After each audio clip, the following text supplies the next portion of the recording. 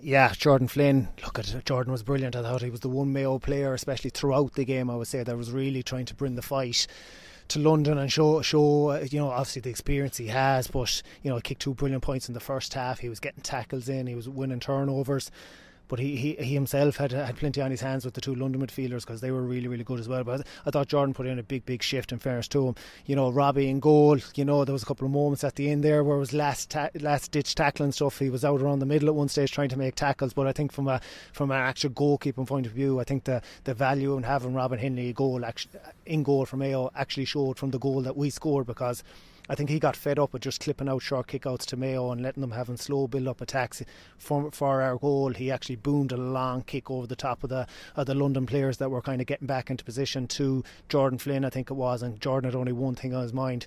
Long ball inside to Cillian O'Connor and the ball's in the back of the set, back of the net, probably less than ten seconds from the ball.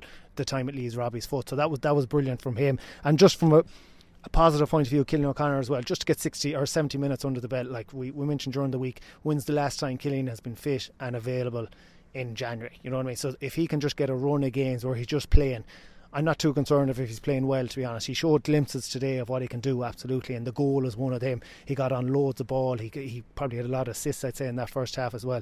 Just the fact that he's playing is a huge positive, positive for me, and it shows me that his body is in a fairly good place. So hopefully he continue that on for the rest of the year.